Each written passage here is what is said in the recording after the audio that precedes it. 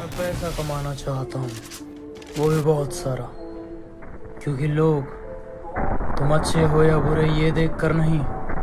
तुम्हारा फ़ोन कौन सा है? तुमने जूते कौन से पहने हैं? तुम्हारे कपड़े कैसे